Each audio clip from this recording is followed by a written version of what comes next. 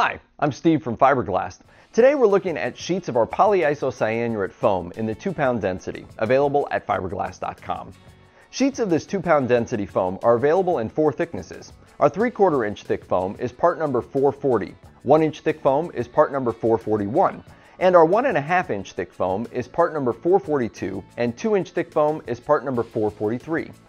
This polyisocyanurate foam is part of our sandwich core category. For composites, sandwich core is sealed between layers of laminate skins to build thickness and strength for a part without adding significant weight. When used as a sandwich core, polyisofoam is often selected for applications where insulation is a factor. This includes refrigerated food service equipment, shipping containers, and wall and roof panels. The properties of this foam closely match those of our 2-pound mix and pour foam, parts number 24 and 25. Whether used as a sandwich core or for plug building, it offers a number of similar advantages. First, polyiso foam is easy to work with. It can be cut, carved, sanded, and sculpted to nearly any shape using basic hand tools. Sheets can be glued together when greater thickness is necessary.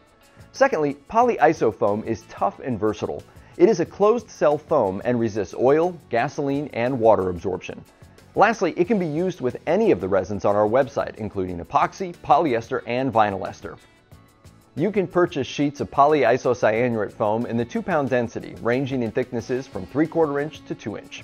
They are sold in groups of 3 sheets, with each sheet measuring 4 foot by 2 foot. When your application calls for greater strength or structural support, take a look at our sheets of polyiso foam in the 6 pound density, our part number 448. Get more information on sheets of this foam and all of our foam and sandwich core products when you visit product pages at fibreglast.com. Thanks for watching today, and don't forget to like this video.